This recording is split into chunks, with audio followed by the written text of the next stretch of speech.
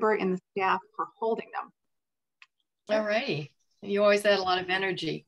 Just um, FYI, we are recording this. If you don't want your picture showing up, you can uh, stop your video. So that way we just see your name. It's up to you. Got somebody else to admit here. Okay, let's see. Let's hear from um, George. Want to give a quick intro? Yeah, I, um, I've been writing poetry for the past 20 years or so. I've won some awards with it, and um, I've been an, an, artist, a visual artist, uh, my whole life. And I'm in a gallery in Morro Bay, and uh, the Marina Square Gallery, and I've been there oh, yeah. for 16 years. 16 years. So, anyway, I I'm in a writers group in the Atascadero. We haven't met this past year. We have done some, yeah, we have some done some email email uh, communicating with each other. So that's it. Yeah, everything is different this year. I think that's something we can all relate to. So, right. Elliot. Oh, I'm sorry, Elliot. You want to introduce yourself? Hi, my name's Elliot Perkins. I'm a uh, sometimes Quest to College student and uh, sometimes artist, mostly uh, work with computers. Uh, Marcia is my wife, and I'm looking forward to the reading. All righty. Thanks for joining us. Kevin, you want to introduce yourself, please? Hi, uh, Kevin Drabinsky. I've uh, lived in San Luis Obispo since 1987, and I, uh, I always acknowledge Jeanie Greensfelder as being a lovely local inspiration for uh, poetry and encouragement to participate in. Yes. Is she here? No, she's not here today but we mm. have had her on our campus uh, in our actual physical space a couple times as a reader and a presenter. So yeah, she's great. Shay, can we introduce, can you introduce yourself and your kids? Hi everyone, I'm Shay Horn. I'm a Cuesta College student. Um, I'm working on my transfer units to transfer for my bachelor's. These are my two youngest, Bryson and Harlan. Um, they go to the Cuesta Children's Center. So we're a big quest to family here. All righty. Nice to, nice to see you guys have been to other programs. I know you're getting big. Yeah. okay, we've got Bruce up next and then Leslie. Well, it's nice to see we have so many different generations here represented. I'm, I'm Bruce Bedrigian, and I've been teaching part-time at Cuesta College for 21 years now looking forward to sharing some poetry. All righty. And Bruce has been a great person along with Marcia to come in camp, uh, come in the building on campus and do our in-person ones, which something to think about before we close today.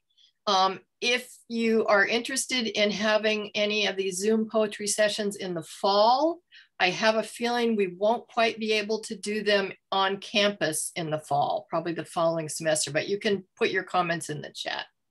Leslie. Hi, I'm Leslie Sutcliffe, a former teacher at Cuesta College. Uh, I knew Bruce many years ago when we both worked at Hearst Castle. That's right, Leslie. Wow, that's great. I know. Wow, good to see you again. Good to see you. And uh, Marcia invited me to this. I'm very excited to be here.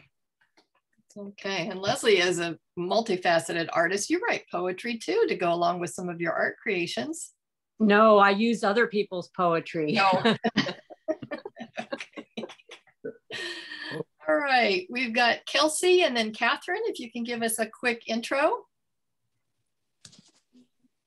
Hi, my name is Kelsey. I'm a student at Cuesta in library studies, and I'm just checking this out to see what it's like. Thanks. All right. Thank you, Kelsey. Catherine? Hi, everybody. I'm Catherine. I usually go by Katie, but either one is fine. Um, I'm a student at Cuesta um, for the library program, and I am on my very last semester. And um, I have a three year old daughter who you might hear pop in and out of this. Um, she's very loud and talkative, and she will like to say hi, I'm sure. so um, yeah, I wanted to read something um, by one of my favorite singers who happens to write a lot of poetry as well, and I it's very deep and I resonate with it quite a lot. So I thought it would be important to share with you guys. Okay, Katie Warwick, right? Yes. Yes. Okay, I just putting together your last name. Great. Thank you. Okay, Mayada and then Linda. Quick intro? Jada Leonard. I'm passing through um, the Cuesta for just a season. Um, I'm in another program in instructional design and technology. Um, I do have some poetry and artworks that I do want to put in book format um, that I've done, and I would like to create a book in that area. Okay, that's quite a project. Yeah. Linda.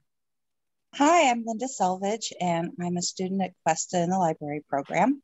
And I've just come to watch everybody today. Thank you for coming. We've got Marnie and then Dawn, both of whom are poets, I know. Quick intro. Hi, I'm walking. Hi, everyone. My name is Marnie Parker. I'm in the library science uh, program as well as art history.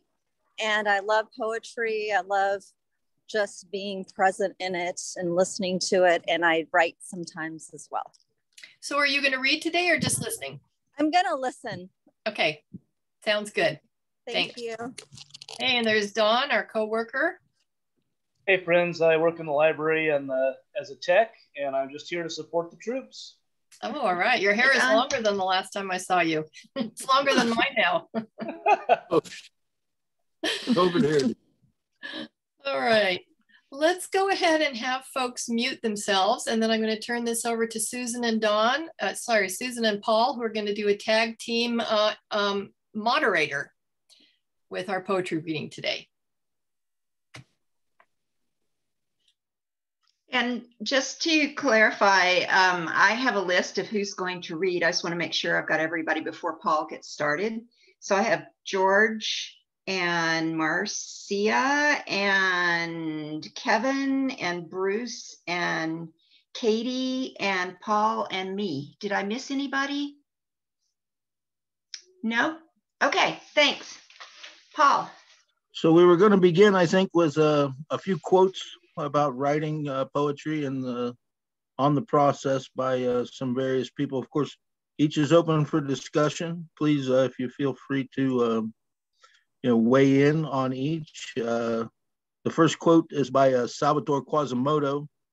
It was quoted from a speech he made in New York, uh, and this is as it was reported in the New York Times. He says, Poetry is the revelation of a feeling that the poet believes to be interior and personal, which the reader recognizes as his own. And uh, we selected that because it, it resonates. Um, and if anyone would like to, to expand on that idea uh, very well, this would be a good time for that. And if not, we can move on to the next quote. Very good. Um, the next quote is by Emily Dickinson, and uh, it is on the impact of art uh, as well. And she says, If I read a book and it makes my whole body so cold no fire can ever warm me, I know that it is poetry. And, uh, and that, again, is keeping with the theme of how poetry makes us feel. Did anyone have anything they would like to add? Very good, very good let's see, T.S. Eliot has said that uh, genuine poetry can communicate before it is understood. And um, and I think that's that you know speaks to the heart of poetry, or, or well, it speaks to the heart of poetry, speaking to the heart. And uh, our final quote then will be from uh, W.H. Auden, who said that poetry might be defined as the clear expression of mixed feelings. And uh, with those thoughts, um, I think we can give the program back to Susan for a few moments and uh, we can begin reading poems. Okay, thank you, Paul. I posted in chat um, a question for everybody if you want to answer it. Uh, if you don't, that's okay too. Just share with everybody. Do you have a favorite poet? Who is that person? Do you have a favorite poem that comes to mind, a title that comes to mind, or a first line that's meaningful to you that's been with you all your life, perhaps? Um, if you want to share that in chat with everybody, it's open now.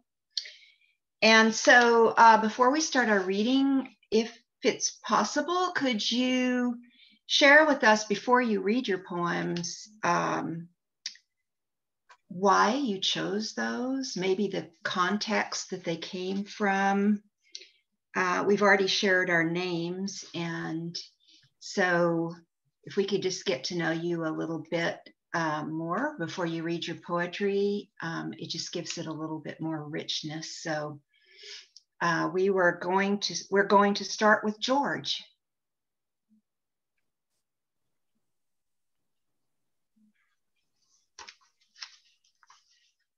Okay, can you hear me? Yes. Okay.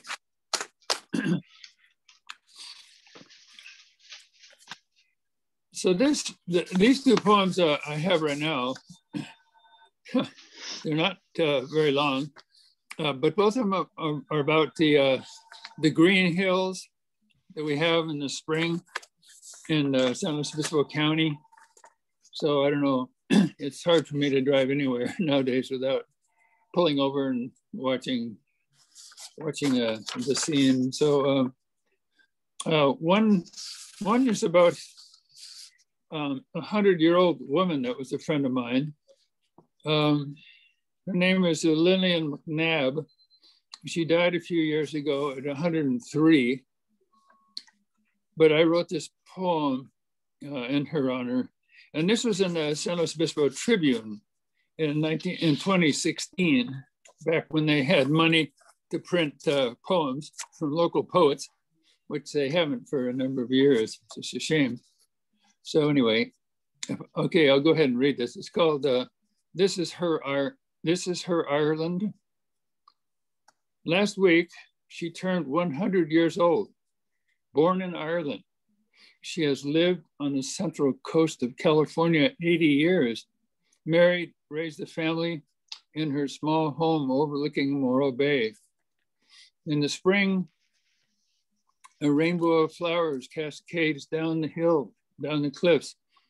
Hills, the color of potatoes she dug as a child, now the color of shamrocks.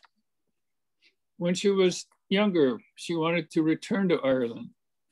Now, in the springtime, this land becomes her home the home of her childhood. As she rocks on her porch, she looks out and sees herself again playing in the clover. Okay. Hmm. Hmm. A little emotion, right? Emotional when I read that. Though this one is uh, called. Uh, this is not a dream. This is another about a green hills in San Luis Obispo County. And this one is uh, when I was driving down uh, Highway 101 uh, from San Luis, from Tascadero down to San Luis, down, down the grade. So if you've ever driven that in the spring, it's an, an amazing scene. So, um, so this is not a dream. I'm, I must be in a horse-drawn cart headed down a narrow path to a village in Ireland after the rains, new grass bursts out of sleepy seeds to paint every hill and valley a soft green. Morning fog quiets the coastline. Sun rays cut through early morning mist like lepre leprechaun lanterns. But this is not Ireland. I'm driving my car down the grade to San Luis Obispo. I rub my eyes. I shake myself to see if this is a dream. It's not. Once a year, we become Ireland or Scotland. Then, quick as it came, like Brigadoon, it vanishes. Our California hills change their palette from siennas, browns to golden ochres. And as they rest and wait for winter range. That's it. Thank you, George. Thank you, George. Okay. I have more if there's time when we're all done. Let's see how that goes. Well, okay. I think we're going to go around with two each, and then we'll come back around with extra no, time. Great. So thank that's you for those two. Um, so our next reader is Marcia, and then uh, Kevin, and then uh, we'll do a uh, little writing exercise with Paul, and then We'll have prizes and then we'll come back for more. So next is Marcia. Thank you, Susan. Can everybody hear me all right, I hope? I don't know why my Zoom camera does that. I wanna give a little bit of an introduction to this poem. It's a poem I wrote myself. And I'm actually gonna give you two introductions because I thought you might like to choose. Um, they're both true. And um, if you if you're my age, you may remember as a teenager having something called a choose your own adventure book. And I love these books, not because the writing was that good or what would happen was that good, because I'd always try everything to, so I could totally understand the permutations possible. But I liked the myriad possibilities, the idea of more than one ending or more than one beginning. So here are my two introductions for the poem that I'll be reading. The poem that I'm going to read is called Not Sorry Socks. Okay, introduction one the boss is a jerk. Maybe yours is too. Maybe sometimes. Anyway, I wrote this poem because my white male boss was really getting to me one day, harping on me for saying sorry. I have a lot to be sorry about, and maybe you do too. That's introduction one. Introduction two. What if the world, all the beings, all society, all structures, all matter was one single body one prostrate, injured body, and what if every single one of the cuts, bruises, and bites were ours to tend to? What if every wrong, every injustice was everyone's responsibility? I wrote this poem because I am sorry and sad that there is so much suffering, including my own. Hmm. Not sorry socks he told me not to say, I'm sorry. Women whispered to me, he hates women who say, I'm sorry. The obvious thing here is that I hate men who hate women who say, I'm sorry. But now is not the time for that. Now is the time for how could I be not sorry? If I wore on my ankles the socks I saw last night in a shop that said, not sorry on them.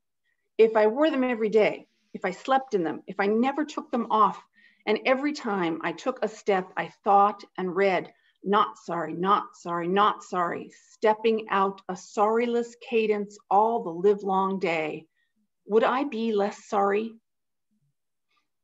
Because I am sorry, really sorry. I am sorry I interrupted you. I am sorry I was jealous.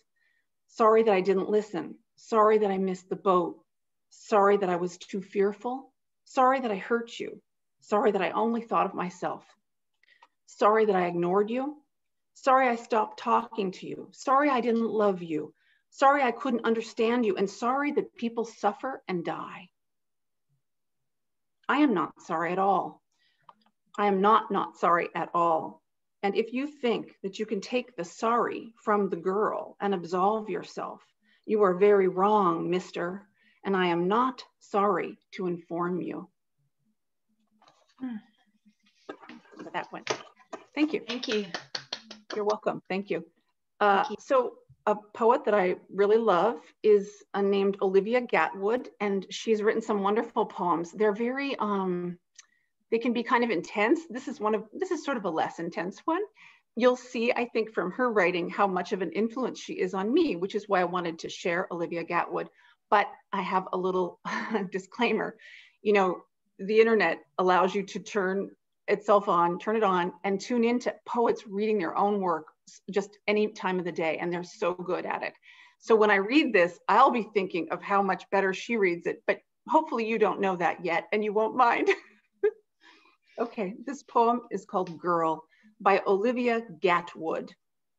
And her last name is G-A-T-W-O-O-D.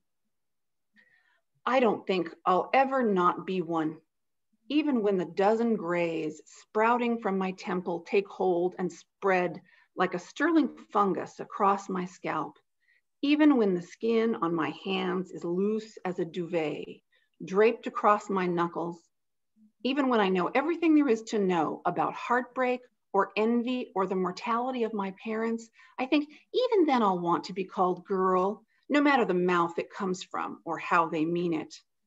Girl, the curling smoke after a sparkler spatters into the dark.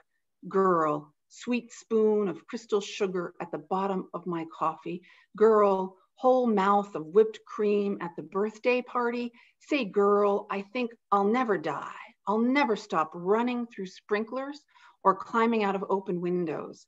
I'll never pass up a jar of free dum-dums. I'll never stop ripping out the hangnail with my teeth. I'm a good girl, bad girl, dream girl, sad girl, girl next door, sunbathing in the driveway. I want to be them all at once. I want to be all the girls I've ever loved. Mean girls, shy girls, loud girls, my girls, all of us angry on our porches, rolled tobacco resting on our bottom lips.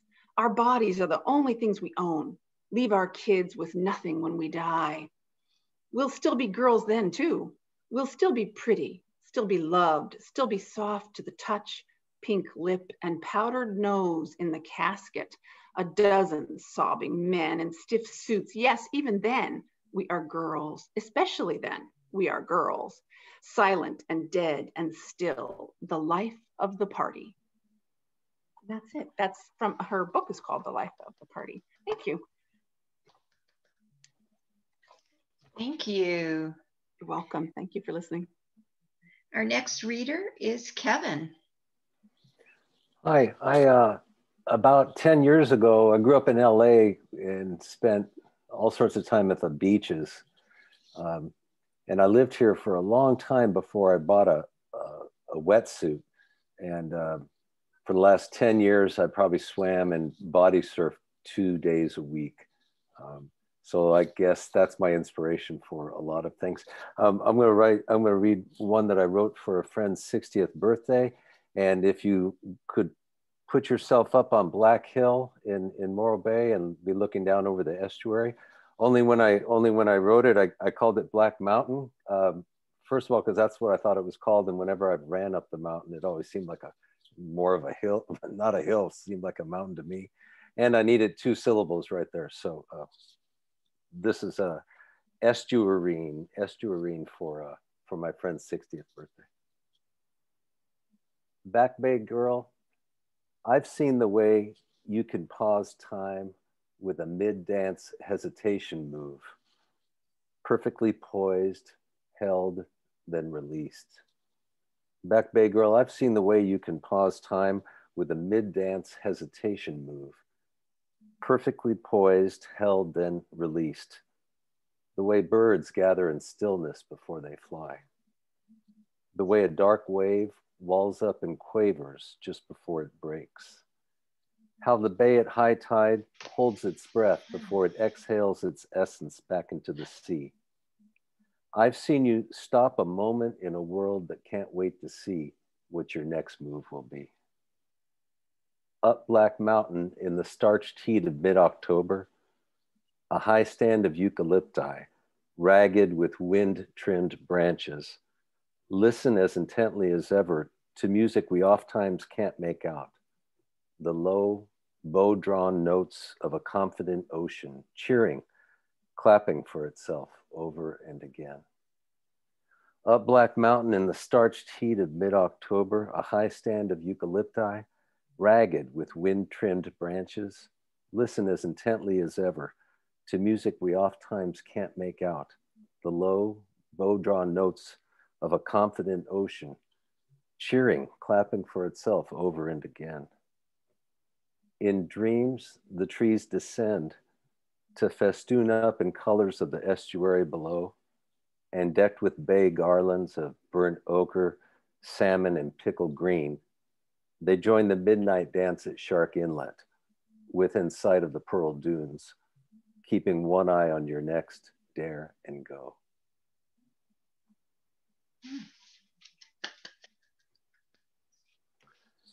And I did another one. Um, hopefully, I can do it from memory. I, I, should bring up the words just for fun. Um, the first wind of spring, which I wrote a couple years ago, but it uh, it calls to mind the distance that we uh, that we uh, sometimes have with friends that are, are close, but we don't uh, see all the time, and which I thought um, rang true during these this last year and a half.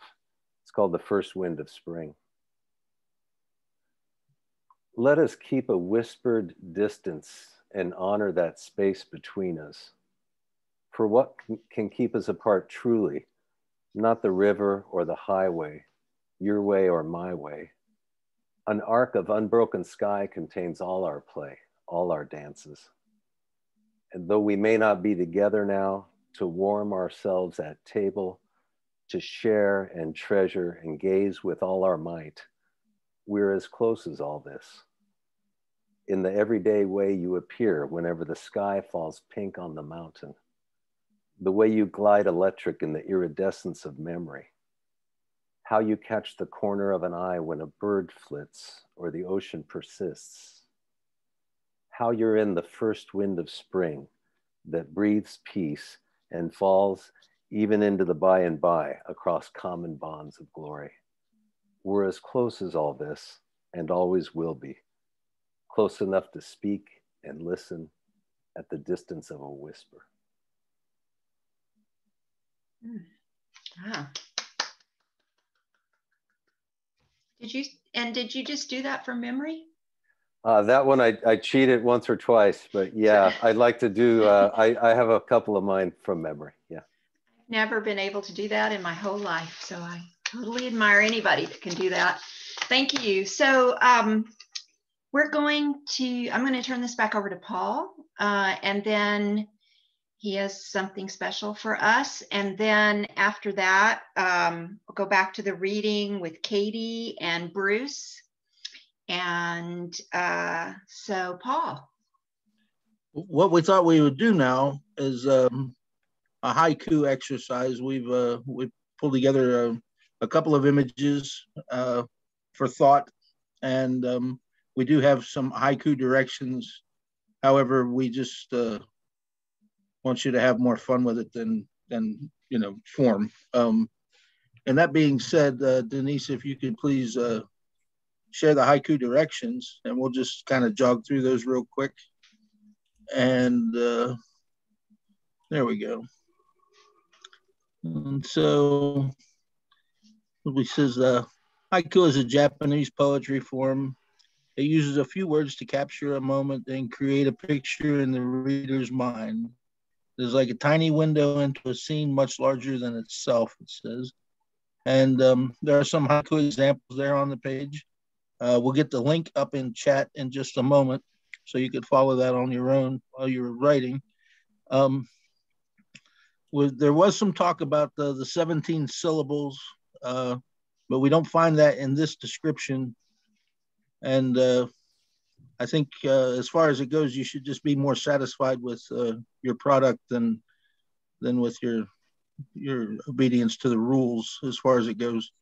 Um, and with that being said, uh, let's uh, let's go ahead and take a look at these images and see if we can can create something of our own. And uh, and, and I'll go ahead and. I put that link to that haiku how to in the chat just in oh, case. Oh, thank you. Okay, so which image would you like me to share first? Um, either. I think okay. uh, we'll we'll, uh, we'll give everybody a chance to to drink them in and uh, and then maybe be creative.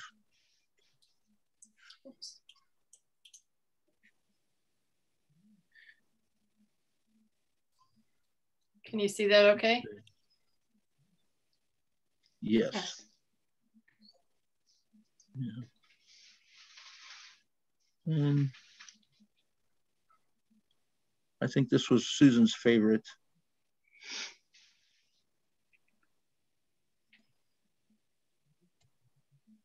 Let's see, and I and that'll do. I think. Uh, would anybody like to look at it longer, or shall we switch to the next? Okay, switch. Very well, let's. Yes. You need to go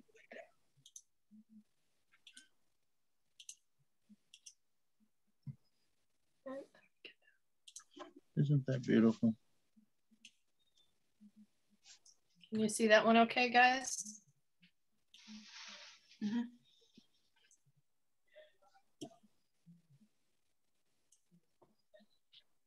I and wonder Paul, if we, we might want to mention that. Go ahead, please. I'm just going to say that we, we have permission to show these. Yes, yes. They I, I called them all from uh, from free use sources. Um, I uh, I googled free thought provoking images for educational use, and uh, and and and most of them were uh, were pretty were pretty topical and and of a very serious nature as opposed to to these that we selected. So I'm glad we uh, were able to find some that were light. Uh, yes. So I was thinking um, maybe while we could pose, uh, we could listen to a couple more and give someone time, unless uh, unless everybody was finished. In which case we could uh, we could maybe compare some of our our uh, quick compositions along with uh, the rest of the program.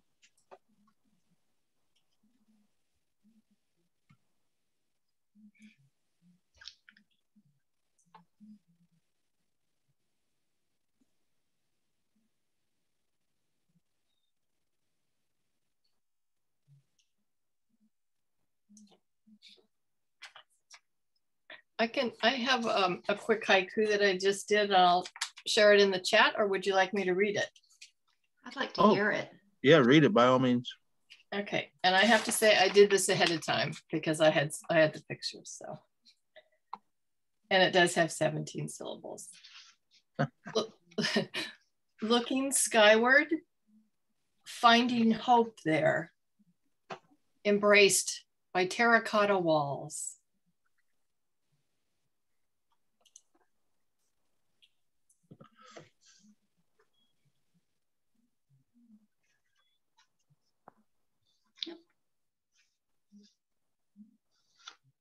Um, I have one from the same photo, the rocks one.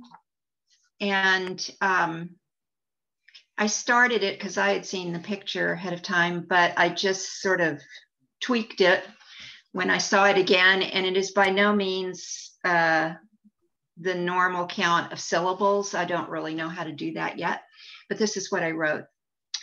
Finding the ancient rocks he hears the years ahead speak. He leaps from rock to rock. That's it. Oh, well met, Susan. Well met.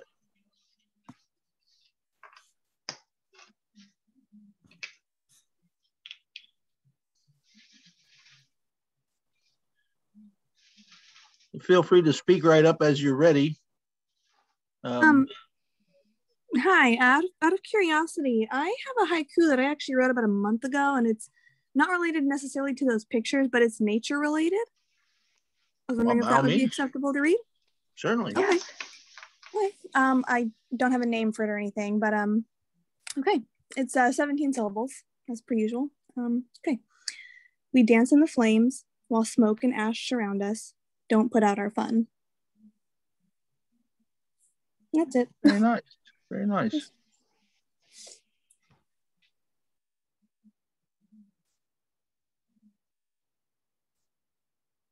I have one that was claim the same. I had this haiku published a long time ago, um, and it's kind of amusing. a pale green worm sits upon the soft orange skin. It eats its way in.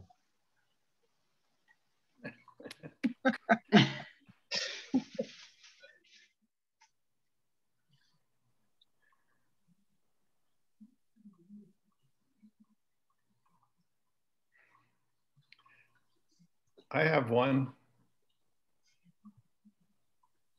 Is this a good time? Yeah. Oh, yes, please. Go ahead. It's it was inspired by the the tree with the magnificent roots. Ancestral roots need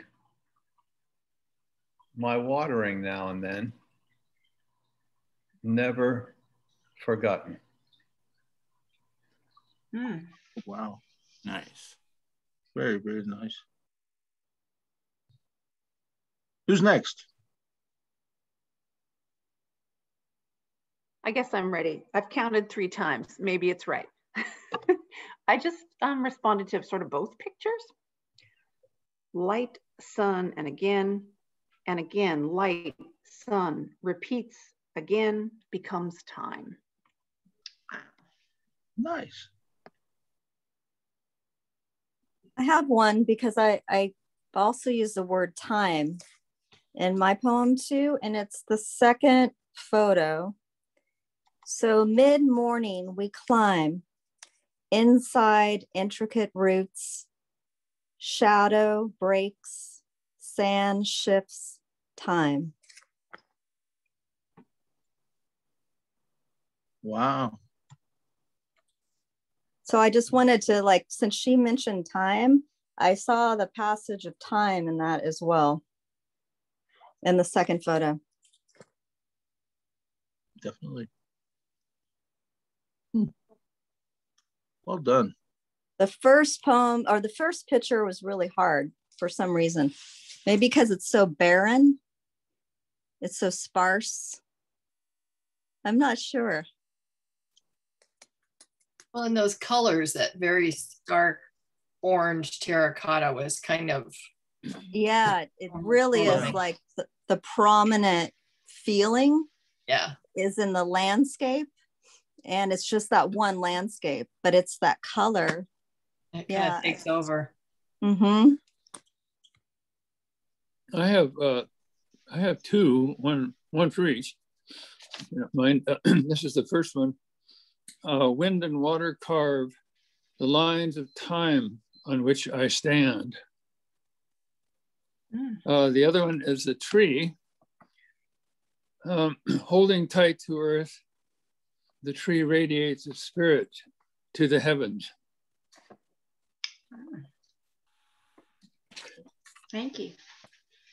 Yeah.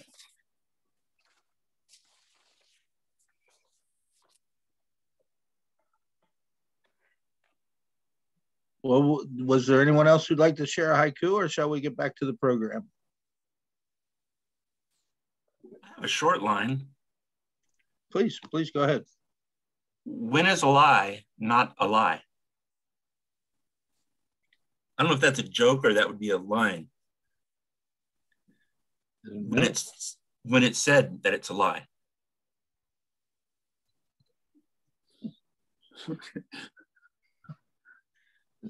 Okay. And then I have one more similar to that. Death is the period at the end of life's sentence.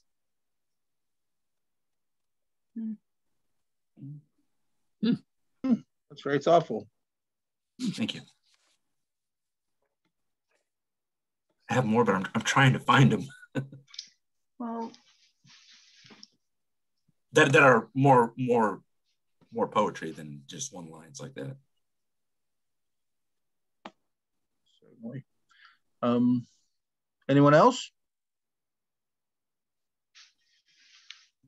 Susan, shall we? Uh, yes. Shall we back to business? Yes. So we're going to go back to our open reading, and our next reader is Katie, and then Bruce. Okay. Hi. Um. So I've got two written by the same man. Um, I chose them because one of them, when it came out in 2006, it resonated with me and it still does to this day. It's um both are very deep, but this first one is very it's very it's thought provoking, I want to say. Um and this man is not like a published poet or anything. He's a lyricist and um he's not the kind of person you think might write stuff like this if you were to look at a picture of him with his bright green hair. But um, it always stuck with me. So this one's called Arrogance and it's written by Alexander Gaskarth. I set foot on the train tracks, the very place I was forbidden to go, and I was terrified. What's a boy to do when his curiosity abounds and the faint and haunting sounds taunt a tireless youth to step up to the confession booth when not a single thing adds up, and a guilty verdict's met by some wandering fool's bad luck. Open the gates to a stranger, as in the eye of God he was all he could be, himself. Unafraid and blindly defiant, young, abrasive, yet soft, pliant. He had served his years, and his God had not lived those days, those hours, those minutes, those seconds, His God had not tasted those drinks and kissed those lips. He had not tried on those clothes or watched the countless numbers of doors close. He had not noticed the pair, of, the pair of eyes shedding the tears with every death witnessed, the pair of feet unfailing and reliable, the pair of hands curious and calloused, or the memories longing to be told as tales again and again for centuries. Arrogant boy, love yourself so no one else has to. And when they lock the gates before you, find a way to climb them. So there's there's that one. and then um the second one is called um It Boiled Down to Wet Paint, written by the same man, Alexander Gaskarth. It boiled down to wet paint smeared across a bedroom wall, just behind the television. Cover it up if it's too dark to enjoy, but try to envision the perfect change. What if it all matched flawlessly? The edges of this room are too dark. Someone invited many shadows into this place, and the floral curtains do nothing for me. But the furniture seems right as rain, albeit a little dusty. Change never hurt anybody. Besides, the darker the walls, the brighter the sky outside. Oh. Thank you. Yeah, of course. And then how do you spell the poet's last name? I put it in chat as G A S C A R, but I bet that's not right. Oh, no, it's um Gaskarth. G A S K A R T H. Gaskarth. K A R T H. Yes. Okay. Okay. Alexander Gaskarth. Well, I've never heard of Alexander Gaskarth, so uh, he's, he's, him the up. lead, he's the lead singer of a band called All Time Low, and I can post a link of where someone shared some of his uh, poetry and stuff. Sure, please do. I'll- Yes, and if anybody has any poetic links they would like to post in chat, please feel free to do so. Perfect. I'll go ahead and Um, post this. Okay, and so our next reader is going to be Bruce, and then Paul and me and Denise, Paul and I and Denise, um, unless uh, there's someone who hasn't signed up to read that would like to read before we do. But uh, Bruce, you're next. And if we could keep saying the context for why we chose the poems, um, you know, a little bit about them just to deepen them. Uh, thank you for doing that thus far. Go ahead, Bruce. Well, I I rewrote this poem, or I reworked this poem because of uh, President Biden's historic announcement, where he, stepped up and he did what no other president has ever done, and he called uh, what the Turks did to the Armenians a genocide, and uh, for him standing up to that dictator in Turkey, Armenians are celebrating around the world right now, uh, feeling that affirmation. Um, so, uh, you know, there's no denying for a genocide denied will be a genocide repeated. So here I am. I'm going to tell my grandmother's story in brief and how she managed to survive the genocide and and make it all the way to to the United States. Ode to my ancestors on their 106th anniversary, April 24th, 2021. 3,000 years ago, you took a stand, adopting a religion throughout your land. Christianity was new, your race quite old. You knew the dangers. Let the story unfold. Surrounded by genocidal certainty, no one heard your cries or answered your pleas. Armenia, the cradle of an ancient bloodline. Mount Ararat, now gone, home since olden time. Only two survivors to breathe life anew. Find a young country, red, white, and blue. No English, no money, no time to waste. Find a Catholic priest to marry you, all in haste. Now find a job, survival no guarantee. My immigrant grandparents now living for me. Your families are gone, relatives all dead, new life confusing, trying to get ahead. Children are a blessing, yet more mouths to feed. Faith and hope inspire. Follow God's lead. Listen closely, my child. Hear of your distant clan. They died for a reason God's simple plan. Today we remember by honoring them. Be someone worthy, and they live once again.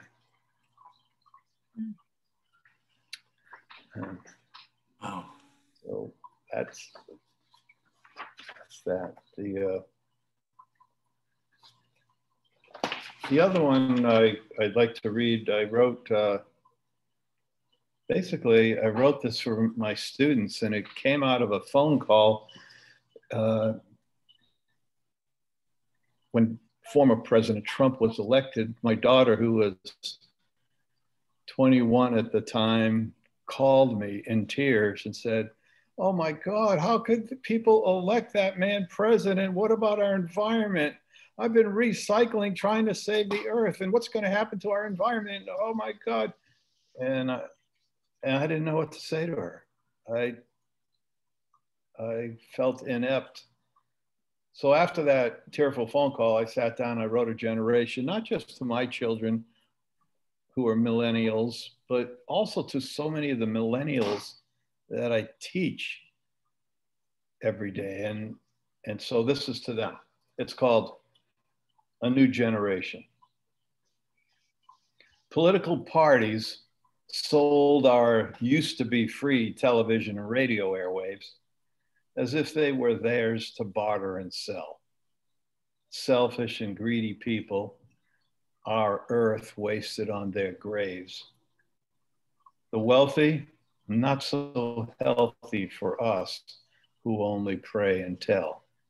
They polluted our oceans and pristine mountain streams to save a damn dollar and make a lousy buck, raping Mother Nature from behind the scenes, betraying our future because they don't give a fuck.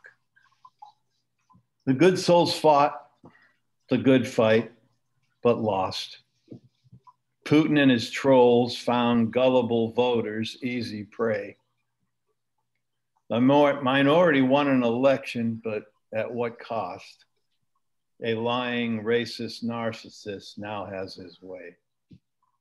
Yet not all is lost when we view the youth of today.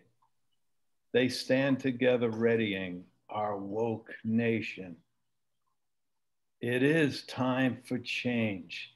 Not going to wait another day. Out, out, greedy isolation. Here comes a new generation. That's it. Thank you, Bruce.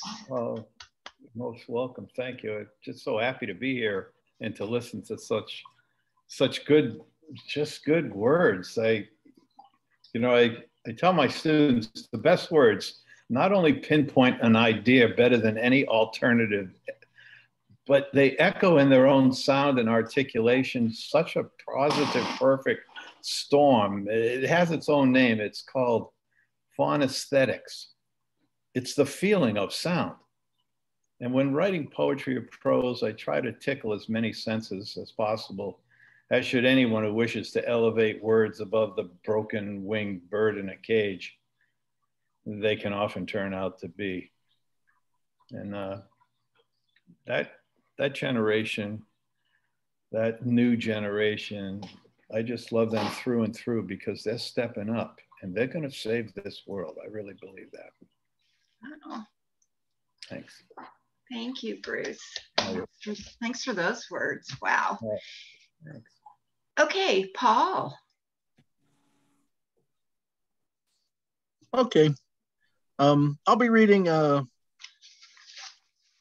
Empty Garden, which is a song by uh, Elton John. Uh, in my research, I found uh, it attributed to Elton John and attributed to Bernie Taupin in equal numbers. And, and nobody could really tell. This was in the early 80s when, uh, when they were putting out a new album every other week. Um, However, this was his uh, tribute to John Lennon. and I hadn't heard it for many years. And uh, and when I heard it again, it kind of echoed the, just my feelings about the the pandemic and, and the and the world as it is. It's a, it, it's definitely a song of loss, um, and I will try to do it justice. Let's see.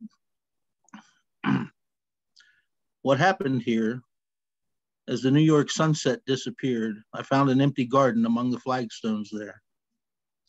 Who lived here? He must have been a gardener that cared a lot, who weeded out the tears and grew a good crop. And now it all looks strange. It's funny how one insect can damage so much grain. And what's it for, this little empty garden by the brownstone door? And in the cracks along the sidewalk, nothing grows no more. Who lived here? He must have been a gardener that cared a lot, who weeded out the tears and grew a good crop. And we are so amazed. We're crippled and we're dazed. A gardener like that one, no one can replace. And I've been knocking, but no one answers. And I've been knocking most of the day. And I've been calling, hey, hey, Johnny, can't you come out to play? And through their tears, some say he farmed his best in younger years. But he'd have said that roots go stronger if only he could hear. Who lived there? He must have been a gardener that cared a lot, who weeded out the tears and grew a good crop. And now we pray for rain. And with every drop that falls, we hear your name. And I've been knocking, but no one answers and I've been knocking most of the day. And I've been calling, hey, hey, Johnny, can't you come out to play? And that's it. That's it. Thank you all very much for listening. It's a, it's a very emotional sort of a poem, I think. Yes.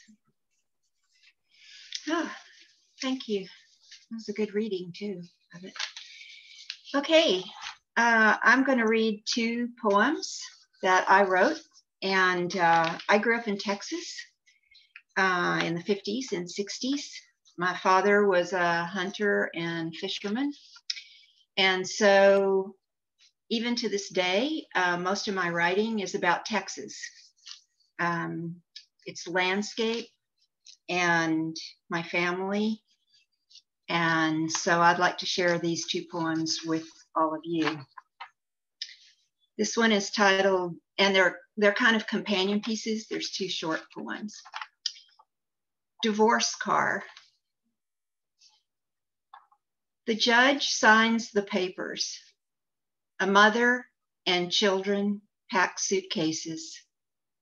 They leave town in a brand new car not an Oldsmobile 88 like the father owns, a turquoise and white two door 56 Chevrolet. Steering wheel, huge as a globe. White sidewall tires rolling through Red River dust toward the four corners. The family never looks back, not at the dog whining in the yard, not at the man whose body already is being torn off photographs, not at the small town where people watch their leaving. The divorce car crosses the Brazos River. A hawk dives at a snake near the water and misses.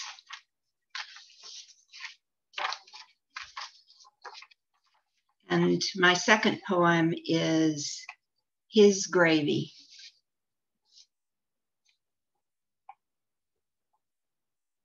He turned the headless purple bodies almost tenderly in the hot oil, the heavily blackened iron skillet, transforming their last frantic flight from him into a family supper of wild dove and white gravy stirred from their dark juices.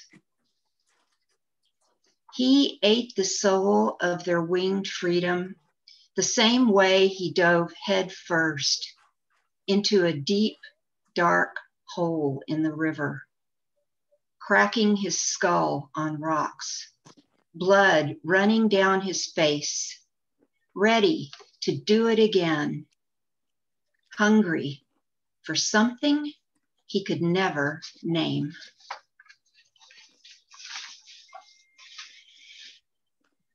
Thank you. I get my Texas accent back when I read Texas poems. So uh, next up is Denise, our extraordinary reference librarian who creates all these wonderful programs. Oh, we all we all come together and make these happen. So let me ask you guys a question. We have our prizes yet to do. How about if I just do um, one poem and then we'll do the prizes and we might run a couple minutes over. So just to be respectful of your time, is that okay? What do you think, Paul? Okay, everybody. Um, this poem that I'm going to read is called Break My Heart. It's by Joy Harjo. You might recognize her name. She is the current uh, poet laureate of the United States. Um, and she's evidently been, uh, her tenure has been extended. So she's, uh, this is the third year in a row that she's been the poet laureate. And I didn't realize that it was a one year appointment. So it's kind of unusual for her to have a, a three year. She's um, uh, a Native American born in Tulsa, Oklahoma. Her father was Creek and her mother was Cherokee and mixed European. Um, and she's, it, this was very interesting. I'd read this poem and then read a little bit more about her. And um, I didn't realize she's also a musician. And I think this has a very musical tone to it. And she's also an artist, a painter. So she's one of those folks that is really multimedia, multi-talented. And I thought it just, it kind of hit upon the times. It's called Break My Heart by Joy Har- Harjo. There are always flowers, love cries, or blood. Someone is always leaving by exile, death, or heartbreak. The heart is a fist. It pockets prayer or it holds rage. It's a timekeeper, music maker, or backstreet truth teller. Baby, baby, baby. You can't say what's been said before, though even words are a creature of habit.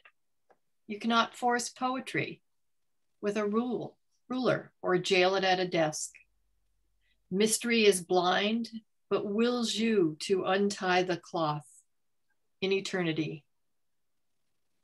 Police with their guns cannot enter here to move us off of our lands. History will always find you and wrap you in its thousand arms.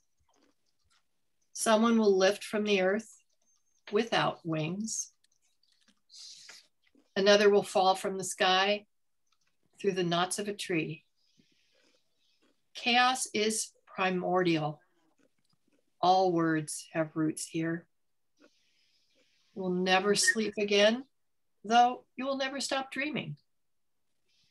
The end can only follow the beginning, and it will zigzag through time, governments, and lovers. Be who you are, even if it kills you. It will, over and over again, even as you live. Break my heart. Why don't you? Okay, that's it. Thank you. Okay, so retro, spinning wheel, all your names are on here except for Denise, Paul, and me. So I'm now going to spin. We have three prizes, right, Denise? Mm-hmm. Coffee, your choice, coffee or Jamba Juice. And our first winner will be, I'm gonna spin. Catherine. Catherine, Katie. Hi. Congratulations. Wow. Great, Katie. So, Katie, I have your email address. So this gift card will come. It's a $15 gift certificate. You have your choice of Scout coffee that's in SLO and um, Starbucks or Jamba Juice. What do you what do you like? Oh, um, I'm I'm a big Starbucks girl. Alrighty. I will get that out to you within the next day or two. Oh wow, thank you so much. You just have to write a poem. You have to promise to write a poem while you're drinking your coffee. I have quite a few poems and a lot of ideas. I can do that. Okay, next retro winner is, here comes the spin. Oops, I have to do it again because it landed where Katie was, but I took her name off. Kevin. Kevin is our next winner. Uh, Congratulations. I'll go, I'll go for the Jamba, please. I've, I've, I've, written, I've written all my poetry before to coffee, so I'll try I'll try a blended drink now. All right. and I'll you. use I'll use the email that you used today, right? Okay. Okay, and for our third and final spin, good luck, everybody. Bruce, you won. I did. Oh my God. You that's a- won on our retro spinner. It landed on you. That's a surprise. I usually don't win anything. So that, thank you so Your luck has changed. That's the icing on the cake for today. Wow. All right. So Bruce, what's your uh, pleasure? The Jamba Juice, Starbucks, or Scout? Well, uh, the Jamba Juice I have to go with because the uh, the owner was a former student of mine when he started. Oh, right. That's awesome. Okay. I'll go the Jamba Juice. All righty. And I have your email. And just a thank you to the Friends of the Library who sponsored those little prizes. Yes, thank you so much.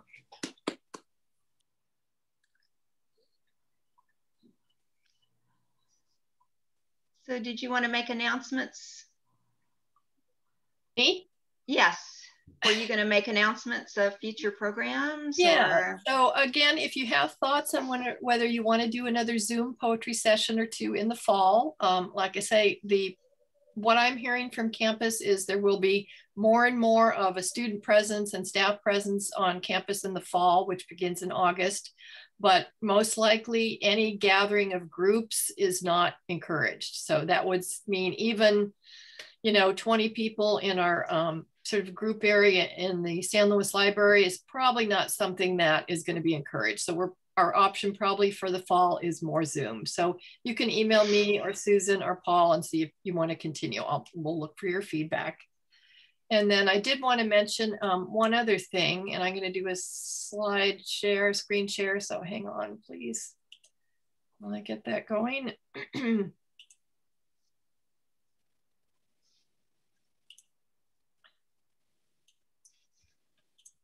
think screen sharing is the most awkward part of Zoom.